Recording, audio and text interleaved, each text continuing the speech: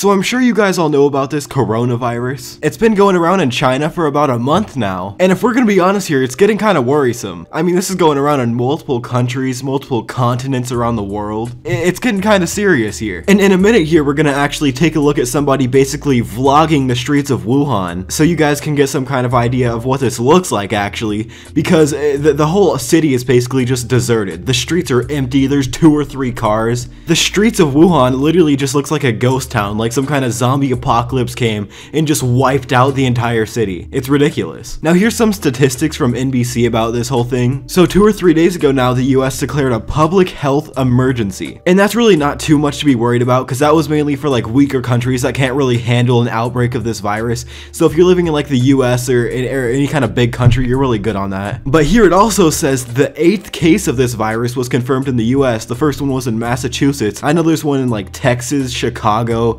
California even. So this thing's pretty spread out actually. We also see here the confirmed cases in China have went to almost 12,000 with about 250 deaths, which I mean isn't horrible. It could be worse. So even if you do somehow get this virus, eh, you do have a pretty good chance of living. My guess is unless you're super young or pretty old, you're probably good on it, honestly. But at the same time, I'm not a doctor, so don't exactly take my word on that one. Anyway, now we're gonna take a look at somebody actually vlogging the streets of Wuhan, and they're gonna show all the protective gear they have to wear. This dude's wearing two masks. He's wearing like swimming goggles, he has a scarf on, and like multiple jackets. It's crazy. And you're also gonna see how deserted this town actually is, because like I said earlier, it's like a ghost town. There's basically not a soul there. One mask. Another mask. Can't forget the most important thing. And the silliest thing. Got my gloves. I'll wash these when I get home. Just to be safe from all the stuff I'll touch on my way. Another beautiful day in quarantine Wuhan. This is a city with a population bigger than London. This is usually a very busy street. All these shops would be open. Lots of noise. Surrounded by apartments. And yet, there's no one on the street. I've never seen this road without cars traffic.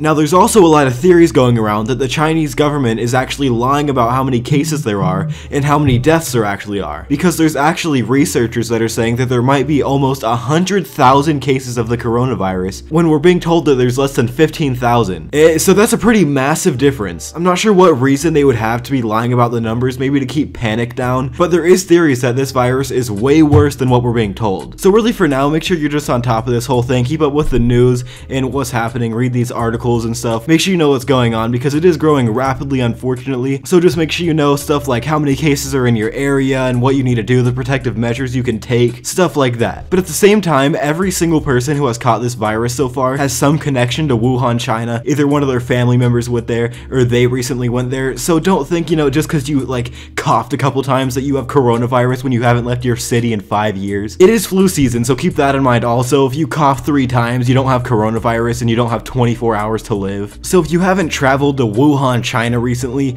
there's not much to worry about. There's no reason to panic or anything, even if it does get worse, there's why panic before it happens, you know? Anyway, that's where I think I'm gonna wrap up this video. Don't forget to drop a like and subscribe if you're brand new to the channel. You can follow me on Twitter at Subderelex, and other than that, I'll catch you guys in the next video. I'm out.